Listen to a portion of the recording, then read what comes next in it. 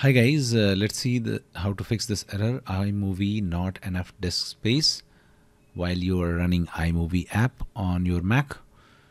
Now to fix this what you have to do when you have open iMovie what you have to do you have to just click on iMovie and then click on settings okay?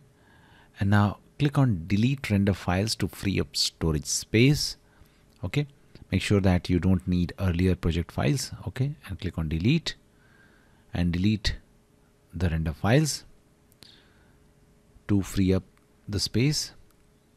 Now right click and choose empty bin also so that it free up space on your Mac.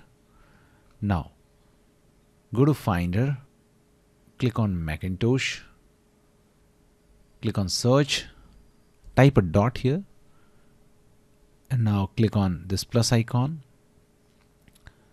Click on file size. If you don't find file size here click on other and search file size. And select this and click on OK. Now search file size.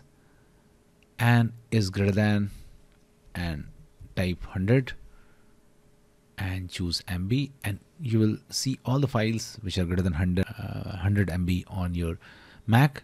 Try to delete not so useful files to save up some space. If there are large videos files which you don't need, try to delete them. Also click on settings and now click on general from left and click on storage. Now double click on applications and if there is any application which you don't need just select that and click on delete and delete that application to save up some space. Okay. And once done just right click an empty bin to remove those files from bin also. Okay. So this is how you you can fix this error if this is also not working out. Just click on finder click on applications select iMovie and just drag and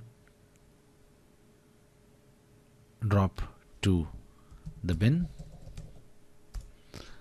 Now once you have deleted it do not empty the bin right now.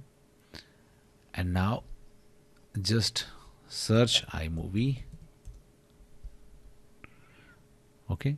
And now install it again and after that when you will install install it again your problem will be solved. Thanks for watching. Please do like the video and subscribe to the channel